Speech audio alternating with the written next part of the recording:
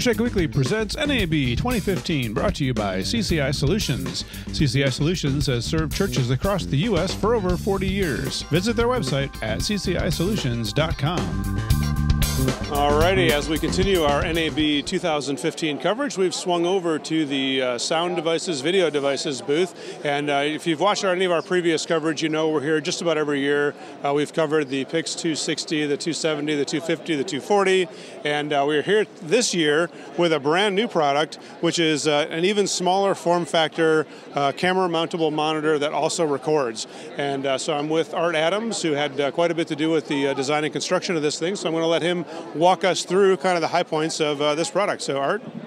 So we designed this for a lot of different people. I started my career as a camera assistant on feature films and TV series, and then uh, went into commercials and corporate, and I've done a lot of other stuff along the way, documentaries, things like that. We really wanted this to appeal to people who did documentaries, um, worked with DSLRs, but also camera assistants, camera operators, directors of photography, VTR operators, DITs. So we put in a little bit of something for everyone. We initially discussed putting in an OLED display in this, but we realized that since it's an on-camera display, we wanted full HD, which in this size you can't get an OLED monitor that's full 1920 by 1080, and we also wanted really bright, because OLEDs look great in controlled environments, but not so good in uncontrolled. So we went uh, with LCD. It's a 500 nit display. It's very bright. We have a couple of great features. Uh, really like the tap zoom if you want to pop in and check focus on something, all you have to do is touch the screen, touch out, you know, again, and you, you have the option of either a 2x or a 4x zoom. And if you are trying to check focus on someone who's moving, then you can just drag around and follow them a little bit. Uh, we also have uh, pulse peaking, which I particularly like. I don't know why this works, but it really does. It you can really see focus snap in and uh, you know it's really difficult to see focus in the best of times. And uh, you know, as people around the camera, we, we generally have the worst seat in the house, and that's part of what we tried to rectify here is give everyone the tools that we need to you know see things before the bosses you know watching the big display see them. We have all the usual modes. We have false color. Uh, we have zebras. We're working on a, a four-way quad split, which will have a histogram vectorscope waveform. Um, you know, waveform monitor functionality. It's in there.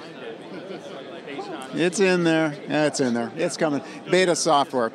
Um, basically, this won't get released until it's bulletproof, which is why we're just kind of previewing it today. It's not ready to head out the door. But, uh, you know, markers, um, uh, let you know? So all the common LUTs so if you're recording log either on this camera c500 any of the ARRI fs7 f5 f55s uh, ARRI alexa any of those you can uh, feed a signal out that's corrected for Rec709 monitor so everyone on set can see something real. You can also load in your own. Um, i'll talk really quickly about the media. So this is the, the, the card that goes in the back it has a USB 3 connect. Oh, I'm sorry, USB 3 connector on it, but it's a very beefy connector. So, you know, these get they wear down over time. So we didn't want to use a regular connector because those will fail after about a thousand cycles, and we wanted 10,000. So inside is an MSATA card.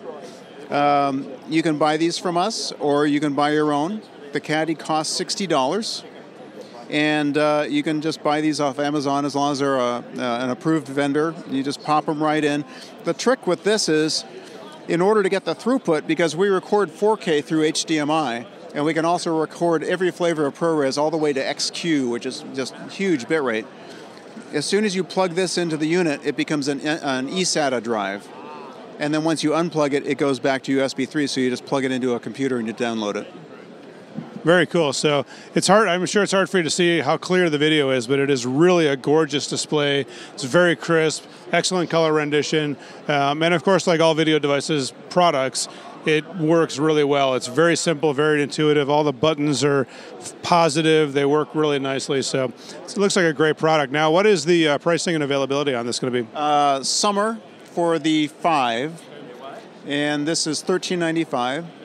There will be a 5H, which is HDMI only. That's 11.95, and then there's a 7-inch coming that will be 15.95. And there's also a module that fits on the bottom of this that gives you two XLR inputs with real sound devices preamps, level control, uh, you know, peak meters, and um, shuttle controls. So you can turn this into a VTR station. Very cool. So uh, if you want to learn more about this, you can probably visit their website, which is uh, video vi- uh, videodevices.com. Videodevices.com. So really neat new product from uh, Video Devices. Um, you know, we love these things because they just work so well. So check out the new Pix 5e and the Pix E series 5 and and the new 7 coming uh, later in the year. So really good stuff. Thanks, Art.